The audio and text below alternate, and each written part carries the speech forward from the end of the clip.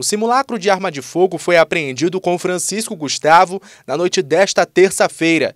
Ele e outros dois suspeitos tentaram assaltar passageiros de um ônibus que faz a linha para o bairro do Bequimão, em São Luís.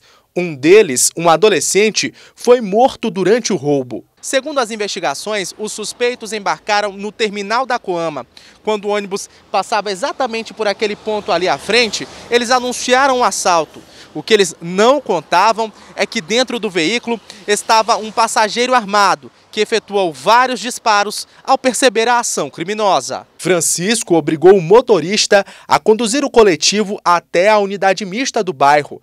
De lá, ele foi transferido para o Socorrão 1, mas o destino final do suspeito deve ser a delegacia. Vítima sobrevivente, apesar dela ter sido atingida, a gente não pode esquecer que ela estava praticando roubo, então contra ela com certeza será feita uma investigação, talvez um inquérito policial para apurar exatamente esse crime de roubo.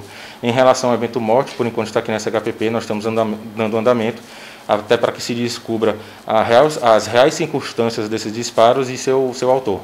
Câmeras de segurança instaladas no veículo vão ajudar na identificação do homem armado. O evento poderia ser muito mais trágico, poderia ter atingido outras pessoas, mas felizmente isso não aconteceu. Né? Nós tivemos um óbito, mas realmente a tragédia poderia ter sido bem maior.